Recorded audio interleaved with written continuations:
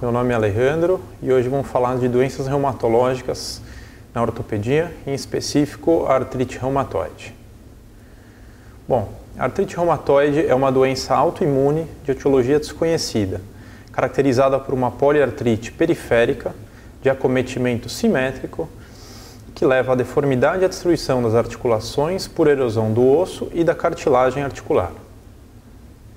Epidemiologicamente, a artrite reumatoide acomete as mulheres duas vezes mais do que os homens e sua incidência aumenta com a idade. Acomete os pacientes nas faixas dos 30 aos 50 anos e não está associada a outras patologias. Como características clínicas, a artrite reumatoide se caracteriza por acometer grandes e pequenas articulações. Seu acometimento articular é simétrico e aditivo e pode ou não apresentar manifestações sistêmicas como rigidez matinal, fadiga e perda de peso. Além das características citadas anteriormente, nós podemos dividir as manifestações da artrite reumatoide em manifestações articulares e extraarticulares. As manifestações articulares caracterizam-se por dor, rigidez generalizada, rigidez matinal, edema e eritema pode estar presente, entretanto, é uma manifestação relativamente rara.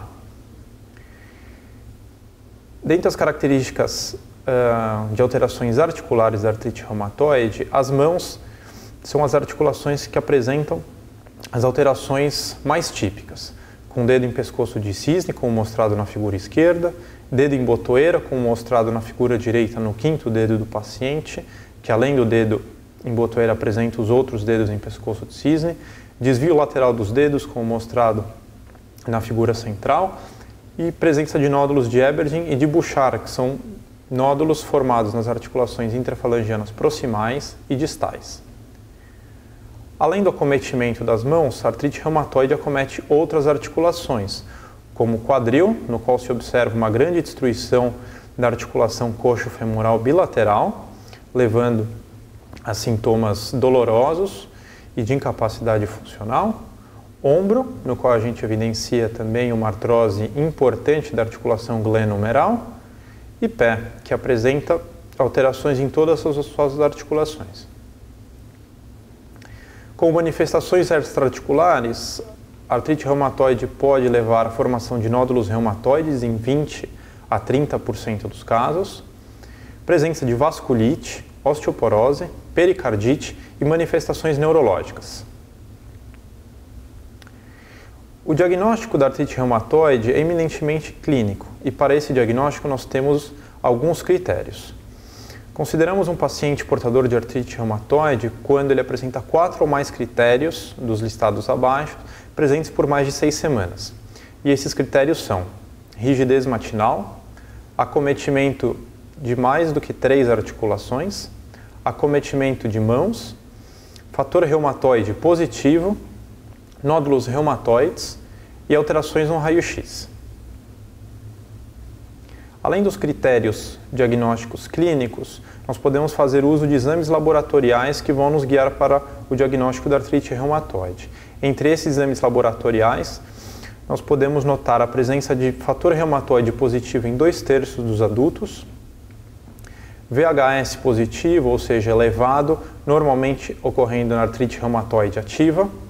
Os pacientes podem se apresentar teste do látex positivo e no hemograma simples os pacientes apresentam ou podem apresentar uma anemia normocítica ou normohipocrômica.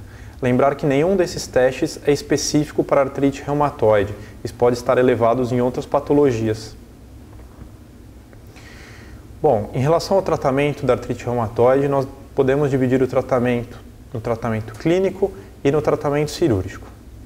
O tratamento clínico consiste no uso de anti-inflamatórios e analgésicos para tratar uh, o processo inflamatório generalizado e as dores do paciente, uso de corticoides, antirreumáticos e imunossupressores como sulfasalazina e metotrexate para controle da artrite reumatoide. Além do tratamento clínico, existe o tratamento cirúrgico que não deve ser retardado caso o paciente apresente deformidades ou alguma limitação ortopédica. Existem diferentes tipos de tratamento cirúrgico, entre eles sinovectomias, correção de deformidades, como pequenas deformidades em mãos e pés, artrodeses e artroplastias.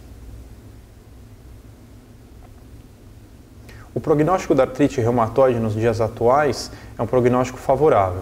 15% dos pacientes apresentam inflamação de curta duração, não chegando a desenvolver deformidades. A progressão ela é mais rápida, ocorre mais rapidamente nos seis primeiros anos, sendo que o acometimento articular normalmente no primeiro ano e as remissões ocorrem em torno de um ano após o tratamento da patologia.